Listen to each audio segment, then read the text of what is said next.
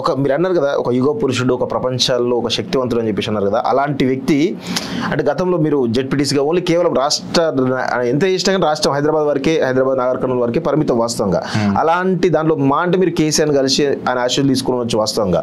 కానీ ఇప్పుడు మీరు ప్రధాని మోడీ చేత ప్రశంసలు అందుకున్నారు యువకుడు గెలిపియండి అని చెప్పేసి ఆయన ఆశీస్సులు మీకు రావడం అప్పుడు మాట్లాడుతున్నప్పుడు మీకేమనిపించింది అసలు? ఆ మీకు ఒక భావోద్వేగం అంటే కొంత సంతోషం ఒక రకమైన ఫీలింగ్ అయితే ఉంటాయి కదా ఆ ఫీలింగ్ ఏంటి అసలు? నేను గత ఐదు సంవత్సరాలుగా జెడ్పీటీసీగా పనిచేస్తున్నప్పటికీ రాష్ట్ర ప్రభుత్వం నుంచి ఒక నయా పైసా నిధులు కూడా రాలేదు. మీరు జెడ్పీసీ ఉన్నప్పుడు ప్ర- ప్రభుత్వంలో ఉండి కూడా? ప్రభుత్వంలో ఉండి కూడా. కేవలం వచ్చేయన్నీ కూడా కేంద్ర నిధులే.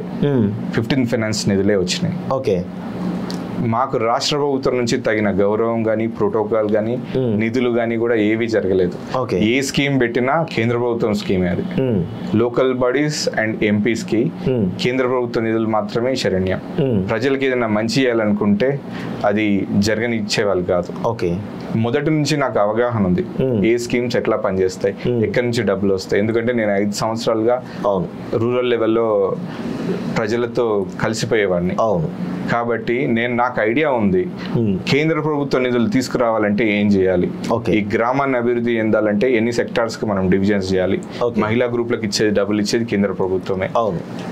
ఉపాధి కూలీలకు డబ్బులు ఇచ్చేది కేంద్ర ప్రభుత్వమే. అవును. పిహెచ్సిలకు డబ్బులు ఇచ్చేది కేంద్ర ప్రభుత్వమే. అవును. ఆల్ సెక్టార్స్లో డెవలప్మెంట్ సంక్షేమ పథకాలు తీసుకోండి డెవలప్మెంట్ ఆస్పెక్ట్ తీసుకోండి. ప్రతి దానికి ఫండ్స్ ఇచ్చేది కేవలం కేంద్ర ప్రభుత్వమే. ఓకే అయితే దీన్ని రాష్ట్ర ప్రభుత్వాలు వాళ్ళవిగా ప్రమోట్ చేసుకుంటున్నాయి ఓకే మీకు మొన్న కట్టించిన రైతు వేదికలకు కూడా డబ్బులు ఇచ్చింది కేంద్ర ప్రభుత్వం అవును, శ్మశానాలకు సంబంధించిన- శ్మశానాలకు కూడా కేంద్ర ప్రభుత్వం. ఇచ్చింది మరుగుదొడ్ల విషయం కావచ్చు అన్ని విషయంలో. మనం మరుగుదొడ్ల దగ్గర నుంచి ప్రకృతి వనాల దగ్గరికి అన్ని కూడా కేంద్ర ప్రభుత్వం ఇచ్చింది.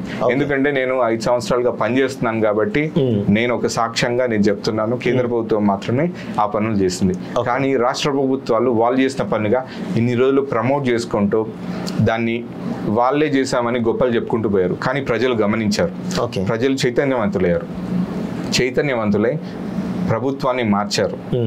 మార్చిన తర్వాత నేను మా సీఎం ఉంటారు. సీఎం కేసీఆర్ గారిని కలవడానికి. బహుశా చాలా రోజులు పట్టేది. ఓకే. కానీ మీరు సులువుగా ప్రధానమంత్రి గారిని కలవడం నిజంగా. నన్ను మన సీఎం కేసీఆర్ గారి దగ్గరికి తీసుకెళ్ళడానికి అడ్డుపడ్డ శక్తులు ఎన్నో ఉన్నాయి.